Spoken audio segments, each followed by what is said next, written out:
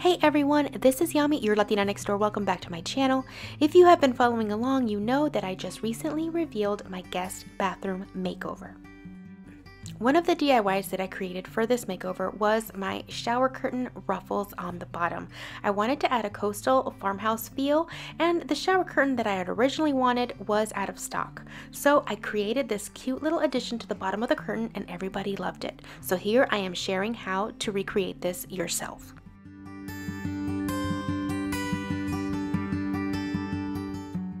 So the first thing you're going to need is a white shower curtain. I found this one at my local Walmart for about $9.99. Then you're going to need about a yard of fabric. I had this white and gray ticking fabric from another project that was left over, so this was perfect for this. However, you can use whichever pattern you like. Next, you're to need some wooden buttons. Now these can be a little expensive, but I found these on sale for $1.49 and even though I did not like the flower side, I decided to use the plain back side, which was nice and light wood.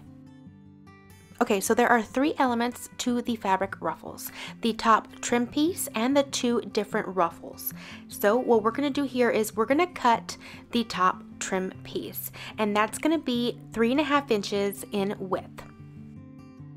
I used a fabric ruler and a rotary cutter in order to make sure that the lines were super straight and I'll make sure to include all links to all the products that I use in this video in my description box below. I did have to cut two of these in order to make it long enough for the entire shower curtain bottom. And as you can see here, I also cut parallel to the ticking stripes. Then I needed to cut the ruffles. I cut six and a half inch wide pieces. I cut about five total of these to give me two whole ruffles from end to end of the shower curtain. And as you can see here, I cut perpendicular to the ticking stripes. So the first thing I had to do was sew the three and a half inch pieces together in order to create a full piece that would fit the entire width of the shower curtain. You have to be a little careful here and make sure that your stripes or your particular pattern lines up.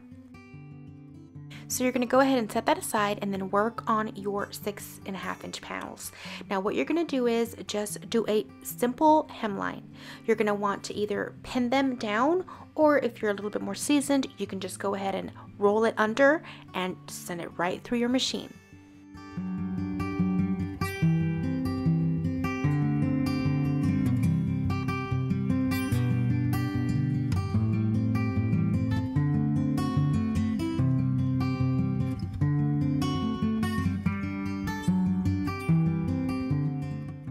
Okay, so after all of the hems are done, you're going to want to attach the pieces together in order to, for them to be wide enough for the shower curtain.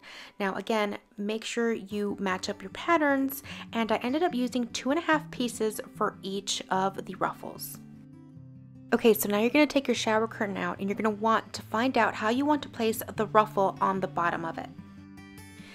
Now, using my fabric cutting mat, I laid everything on top of it and I knew I wanted my ruffles to be a little bit longer than the actual shower curtain. So I determined I wanted it to be about two inches longer just because I didn't like how short it looked up on the shower. Now once I knew where I wanted it placed, I pulled a little bit of extra fabric so I can fold it over and sew it down at the very end. That way it's one nice clean edge. Then when I was happy with the placement, I flipped it over, making sure that everything was nice and straight and started pinning down the very first ruffle.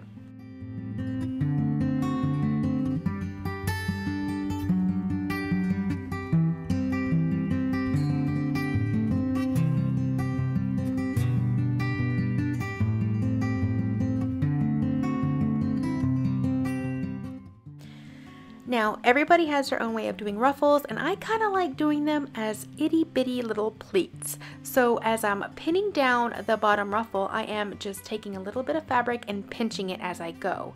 And I'm just basically eyeballing it, spacing them very evenly down the curtain.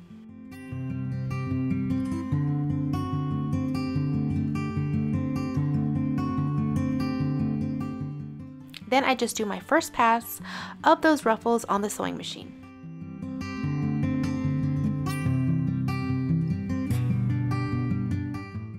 Then I flipped the ruffle over and I gave it another pass. This will actually keep the ruffles staying down and not kind of puff up.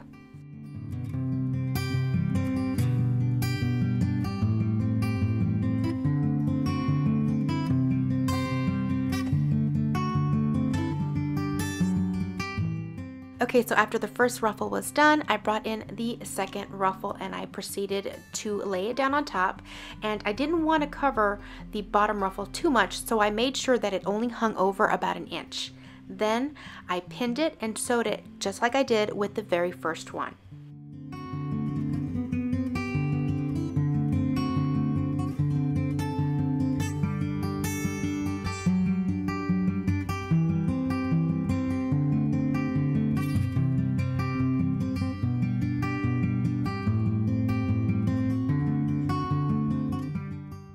Then I run it through the sewing machine and then a second time on top. So here's what it looks like with just the ruffles. Now you can certainly leave it just like this, but I wanted to add another detail to the top, of course. So here's what I did. So I knew I wanted the trim piece to lay over the very top ruffle, so I faced it down and kind of folded it over to see how I wanted it to look when I sewed it up. So facing the right side of the fabric down, I began pinning it right at the top seam of that top ruffle. And then I sewed it all the way down.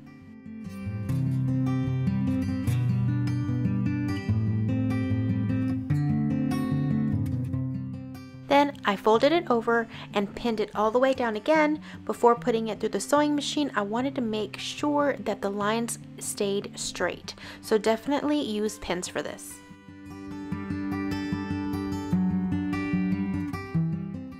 And then run it through your sewing machine.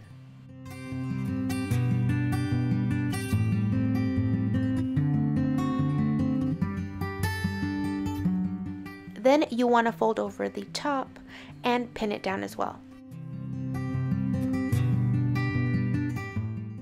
And finally run that through the sewing machine.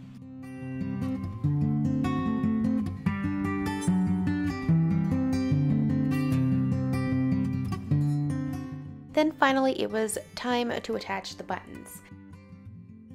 So in order to get even placement of the buttons along the bottom, what I did was I folded the top of the shower curtain down all the way to the ruffles and I pinned them down. This way I can match the buttons to each of the little holes that goes to the rings on top of the shower curtain.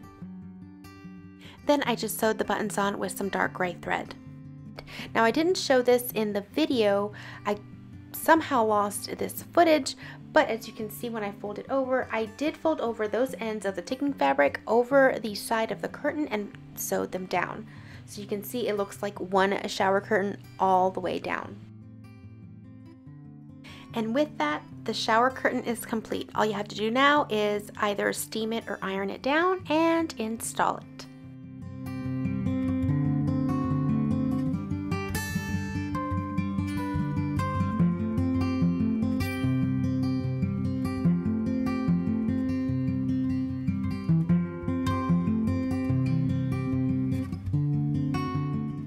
So if you love this coastal farmhouse DIY shower curtain tutorial, please make sure to give this video a thumbs up and subscribe because right now I am making over my entire kitchen and you don't want to miss that.